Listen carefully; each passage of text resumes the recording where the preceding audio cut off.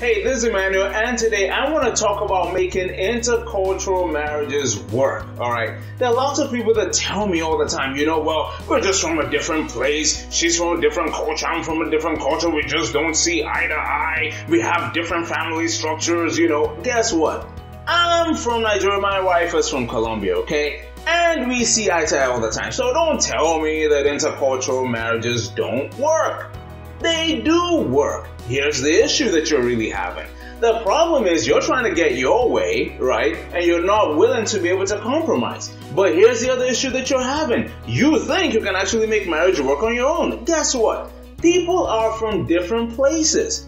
And because they're from different places, they can what seem to be what is this disconnect all the time. But it doesn't have to be so. Alright? It doesn't have to be so. Because once you involve the Holy Spirit, guess what? The Holy Spirit is going to be talking to your wife and is going to be talking to you about the same things. This is how you can mesh together. Because God is not the one going to be telling you one thing and then telling your wife something else. No, there's the mind of Christ that we're supposed to have. And as we have that mind of Christ, you start to find out that both of your thinking starts to mesh together. Alright? So if you keep it godly, everything's gonna be smooth sailing. But if you decide that you know better and you're trying to impose one culture over the other, then you're gonna find out that you have major issues. Now, a lot of people say this as well, right? They're like, well, you know, in fact, there's a book about this, right? That goes, well, you know, men are from Mars, you know, women are from Venus or whatever else like that. Uh, look, look nice side of her book, Issel's book, but that is absolutely hogwash, alright? Bible clearly tells us. The Bible tells us. You know, what does the Bible tell us? Hey, you know,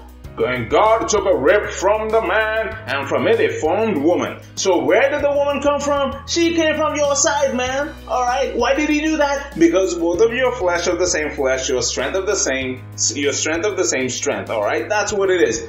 Flesh of their flesh, bone of your bone. You're more alike than you are different. Regardless of the culture, regardless of all that, you're more alike. Now, here's the thing. Don't let the devil start to tell you that you guys are so different, you have irreconcilable differences. Irreconcilable differences only occur when you've decided to take Christ out of the equation and you're trying to do it yourself. Alright? So here's what you need to do. Alright, here's your homework. You need to get together and you need to start renewing your mind together as a couple, doing some, you know what? Praying and reading of the Word of God together so that you're renewing your mind together, taking that journey together and aligning your mind to the mind of the Holy Spirit, which He's going to give you, which is the mind of Christ, alright? Once you have this mind, you will start to find out that all this other stuff that you think really matters, that's been causing pain and division, all of a sudden doesn't because you're not trying to fit into a culture, you're not trying to get somebody to move to your side, and you're not having that tug of war, but this time you're actually going towards God. If you do this, it's all gonna be peachy king, and you'll find out that your marriage is so much better for it. Hey, thank you so much, and we'll see you next time.